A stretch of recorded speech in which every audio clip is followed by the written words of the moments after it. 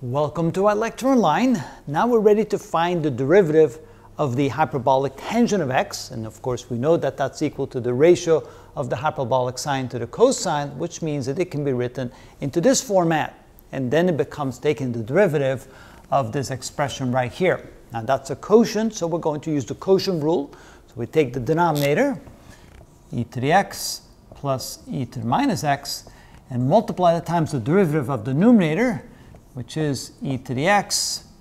Now here, when we take the derivative of e to the minus x, we get minus e to the minus x, which cancels out this minus and makes that a plus e to the minus x, minus the numerator, which is e to the x, minus e to the minus x, times the derivative of the denominator, which is e to the x, and here, when we take the derivative, we get the negative, that turns into a minus e to the minus x, all divided by the denominator squared, which is e to the x plus e to the minus x quantity squared.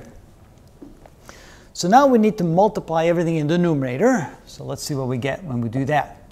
So we multiply these two together, we get e to the 2x, and multiply those two together, we get plus e to the 0 power, multiply those two together, plus e to the 0 power, Multiply those two together, we get plus e to the minus 2x.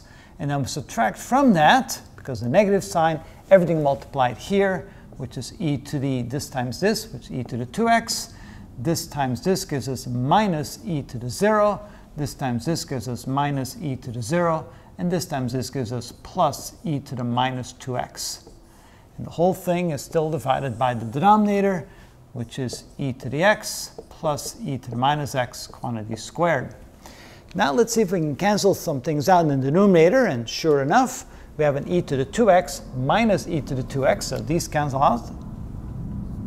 We have an e to the minus 2x and a minus e to the minus 2x, so those two cancel out. And finally, notice we have e to the 0, which is 1, plus 1, and this negative negates those two negatives, so we had 1 plus 1 plus 1 plus 1, or 4 divided by e to the x plus e to the minus x quantity squared.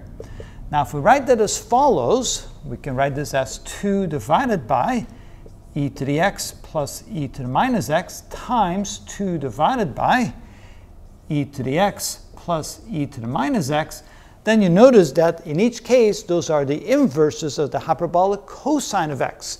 So basically, this is equal to the 1 over the hyperbolic cosine of x, quantity squared, because there's two of them. That means that this is actually equal to the, the 1 over the cosine, 1 over the hyperbolic cosine is equal to the hyperbolic secant, and since it's squared, this becomes the hyperbolic secant square of x, which means that the derivative, the d dx of the hyperbolic tangent of x is equal to the hyperbolic secant square of x. And that's how we know.